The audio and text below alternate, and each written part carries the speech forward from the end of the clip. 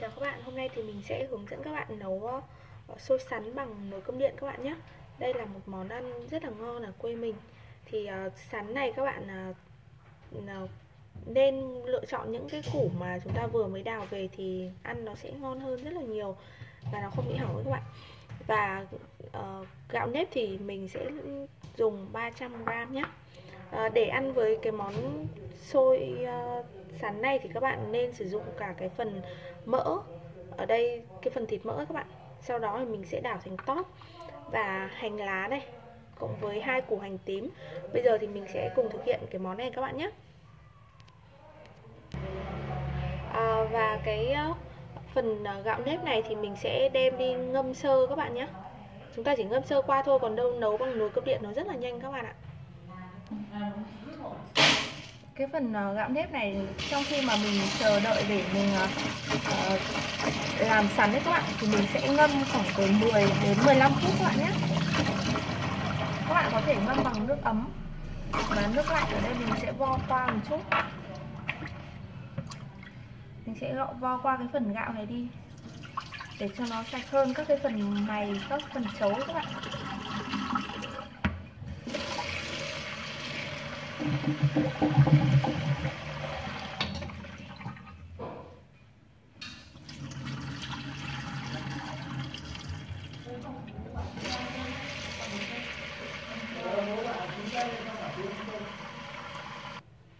và bây giờ thì à, mình sẽ đi gọt cái phần sắn này các bạn nhé. Nhưng mà trước lúc đó thì các bạn hãy chuẩn bị cho mình à, một chậu nước Và cho thêm một chút muối vào để lát nữa khi mà mình bổ sắn ra thì mình cho vào đó để cho nó hết cái phần nhựa đi các bạn ạ. Bạn sẽ khuấy đều nhé. Và để gọt sắn thì mình, các bạn khía cho mình như thế này. Khía theo hình này thì khi mà mình bóc nó sẽ dễ hơn rất là nhiều.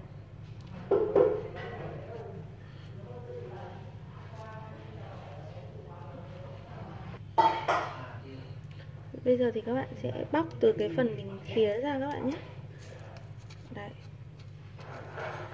Sắn này thì mình mình mua của cô nó cô vừa đào xong ấy, thì là bóc nó sẽ rất là dễ. Nhưng mà đây là mình đang chia múi nó to quá. Mình sẽ phải làm cho nó nhỏ hơn chút.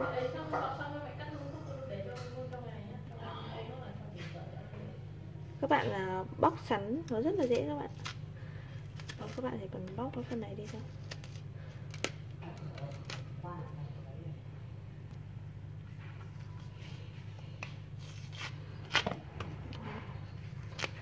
Bóc sắn này nó rất là dễ các bạn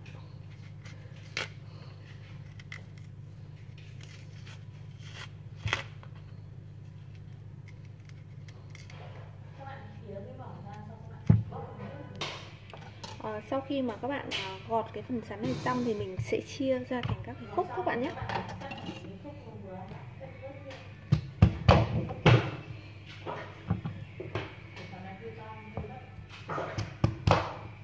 Đó.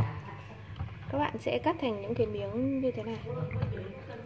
Và sắn khi mà chúng ta mới dỡ về thì các bạn nên ăn ngay trong ngày nhé. Hoặc là uh, mình chỉ để ờ, qua một đêm thì chắn nó đã không ngon rồi. Nhưng mà các bạn nên ăn trong ngày thì cái phần sáng của chúng ta nó sẽ ngon và nó không bị nuốt nhé và sau khi mà các bạn bổ xong thì cái phần ờ, sống giữa này, này nó có một cái đường gân ấy thì các bạn hay còn gọi là sơ sắn ấy thì mình sẽ bỏ cái phần đó đi các bạn nhé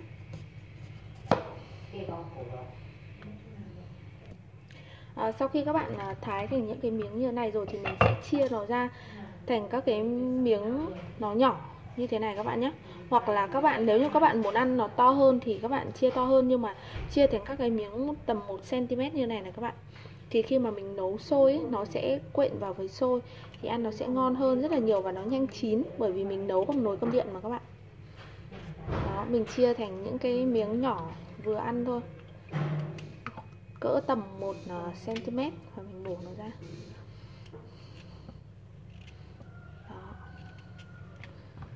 Và cái sắn này à, sau khi mà mình thái như thế này thì mình sẽ ngâm trong cái nước muối này từ 15 đến 20 phút các bạn nhé. Để cho cái phần uh, nhựa ở trong sắn nó ra hết ấy. Thì khi mình nấu sôi nó không bị uh, đấy nó sẽ ngon hơn.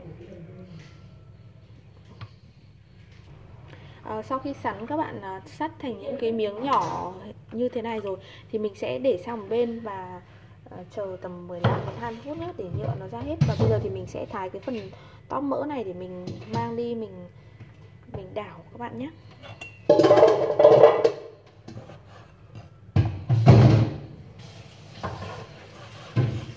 Các bạn sẽ thái thành những cái miếng cũng cỡ một cm như vừa nãy thì mình ờ, mình mình làm sắn đấy các bạn lát nữa mình đi chiên mình lấy cái phần top thôi. Còn phần mỡ thì mình bỏ mình cắt đi. Đó cái món này phải ăn với top mỡ ở phi với hành mới ngon các bạn ạ.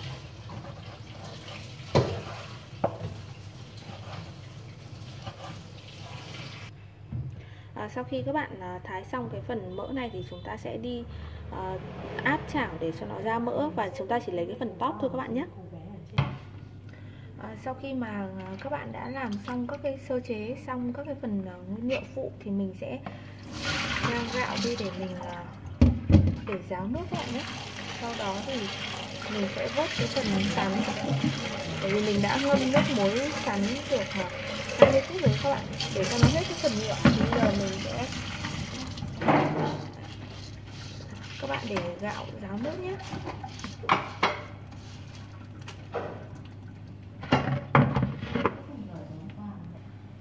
sau khi mình ờ, lấy phần gạo xong thì các bạn cũng rửa luôn cho mình cái phần sắn sắn mình đã ngâm được ờ, 20 phút rồi các bạn ạ. Thì nó đã ra hết cái phần nhựa rồi. Các bạn nhớ là ngâm sắn với cả nước muối các bạn nhé.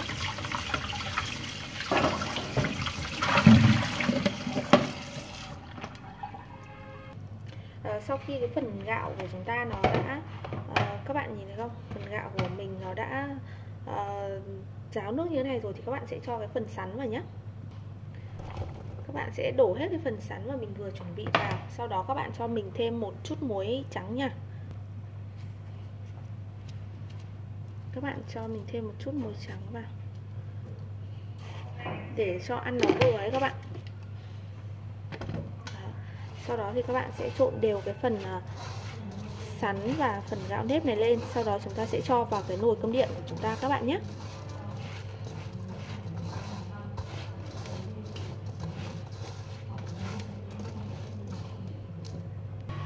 à, sau khi các bạn đã trộn đều cái phần ờ, gạo nếp và cái phần ờ, sắn với muối rồi thì các bạn sẽ cho nó hỗn hợp này vào nồi cơm điện các bạn nhé. Mình nấu buổi sáng như này rất là tiện bởi vì mình không phải ngâm gạo nếp. Nếu như các bạn nấu sôi ấy, thì các bạn sẽ uh, phải ngâm gạo 6 tiếng và ngâm sắn này uh, thì các bạn cứ làm sơ chế như mình vừa làm thôi. Ngâm trong nước muối loãng khoảng tầm 20 phút để cho nó hết cái phần nhựa là được. Còn nếu như các bạn muốn thổi sôi thì chúng ta phải ngâm gạo trước các bạn nhé. Và sau khi mình cho nồi cơm điện như thế này rồi thì các bạn hãy uh, cho mình uh, nước nước nhưng mà các bạn chỉ cho xâm sấp. Các bạn đổ nước xâm sấp vào cái mặt gạo này thôi nhé. Bởi vì nấu cơm nếp nó sẽ không cần nhiều nước đâu các bạn. Đó các bạn cứ thấy nó xâm sấp như thế này là được. Không thì cái phần cơm nếp của chúng ta nó sẽ bị nhảm mất. Và bây giờ thì mình sẽ cho vào nồi ờ, cơm điện để mình bật lên mình nấu các bạn nha. À, các bạn sẽ để ở chế độ uh, nấu các bạn nhé khi nào mà cái chế độ nấu nó chuyển sang chế độ giữ ấm thì uh, sau đó thì các bạn sẽ cho thêm một chút dầu ăn vào để cho cái món xôi của chúng ta nó thơm ngon hơn. Uh, và sau đó thì nếu như mà nồi của các bạn có chế độ giữ ấm nó không tốt ý, thì mình sẽ bật thêm mình nấu lần thứ hai các bạn nhé Ờ, sau khi các bạn à, chờ cái phần xôi của chúng ta chín thì các bạn sẽ đi đảo cái phần tóp mỡ này các bạn nhé. Ờ, các bạn sẽ đảo cái phần top này cho đến khi nó ra hết mỡ các bạn nhé. Thì lại còn lại cái phần top nó hơi khô khô ấy, thì là mình sẽ vớt cái phần top này ra.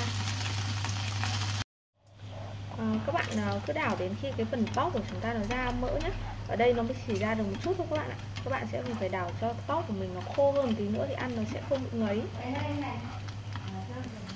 Và các bạn cứ đảo đều tay để cho cái phần tóp của chúng ta nó không bị cháy các bạn. Và mình đảo như thế này thì cái phần mỡ nó ra nó sẽ ra được nhiều hơn và đều hơn à, sau khi các bạn thấy cái phần tóc của mình nó ra gần hết mỡ như thế này rồi thì mình sẽ tắt bếp các nhà bạn nhé hoặc là các bạn nếu như mà các bạn không muốn ăn nữa thì các bạn à, không muốn ăn nhiều mỡ thì mình sẽ đảo thêm một chút nữa. Nhưng ở đây mình ăn như thế này thì nó sẽ tạo được cái độ béo cho cái tóc mỡ của chúng ta các bạn nhé. Bây giờ mình sẽ tắt bếp này. Và các bạn sẽ vớt cái phần tóc này ra nha.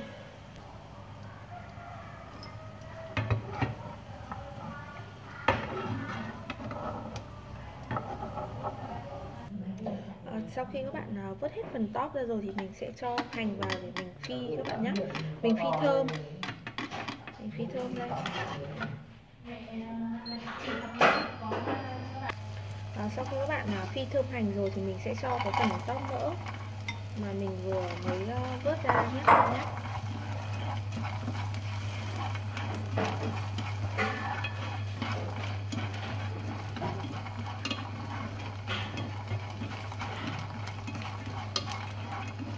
Nếu như các bạn muốn ăn nó béo ngậy hơn thì mình cho thêm một à, chút mỡ mà mình vừa bỏ ra các bạn nhé. Nhưng ở đây mình à, chỉ nấu như này thôi để cho nó đỡ bị à, béo ngậy các bạn. Và sau đó thì các bạn sẽ cho cái phần hành hành lá vào nhé.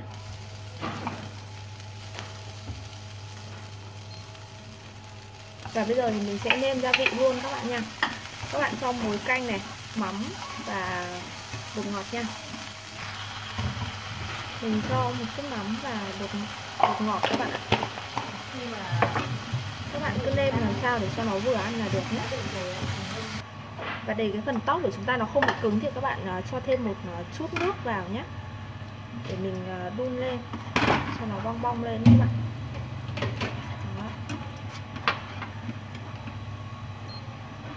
Nếu như các bạn muốn cái tóc của chúng ta nó thơm hơn thì mình cho thêm một chút hạt tiêu vào các bạn nhé à, sau khi phần tóc mỡ của mình ngấm gia vị rồi thì các bạn sẽ cho nó ra một cái bát nhé.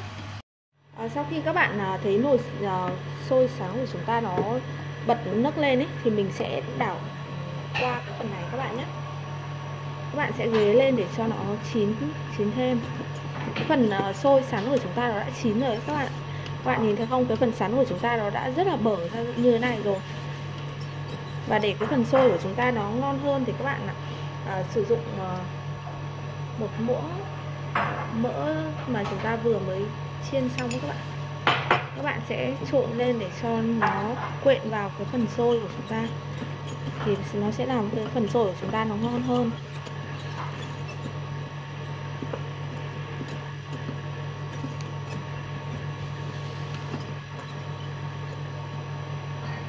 Sau đó thì các bạn sẽ đậy vung vào và chúng ta chờ từ 15 đến 20 phút để cho cái phần ờ, mỡ chúng ta vừa cho vào nó quyện vào cái phần sôi. Để cho sôi chúng ta nó béo ngậy hơn các bạn nhé. Sau khi mà các bạn để ờ, 15 phút thì các bạn sẽ thấy sôi của chúng ta nó quyện với cái phần uh, các bạn sẽ thấy cái phần uh, sôi của chúng ta nó chín như thế này và các bạn sẽ bày ra đĩa các bạn nhé xôi sắn này là một món ăn rất là ngon ở quê mình đấy các bạn. Và nếu như mà mình có thời gian rảnh ấy các bạn, có thời gian rảnh thì các bạn nên nấu ăn rất là ngon. Và khi mà mình nấu nấu bằng nồi cơm điện ấy thì nó sẽ tiện hơn rất là nhiều, mình không cần phải ngâm gạo này. Và mình nấu thì nó vẫn chín các bạn ạ. Còn nếu như mà mình sôi được thì nó, làm cho sôi của mình nó khô hơn, thì nó sẽ rất là ngon. Ở đây thì chỗ này mình à, làm được hơn một đĩa xôi. Khi mà các bạn sử dụng 300g gạo cộng với một củ sắn ấy. Đấy.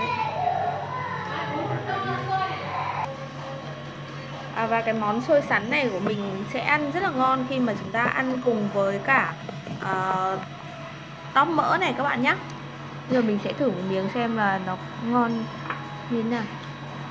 Uhm, cái phần xôi của mình nó đã chín rồi rồi và cái phần sắn nó rất là bở các bạn ạ mình sẽ ăn thử một miếng này nữa. Uhm, ngon lắm các bạn ạ.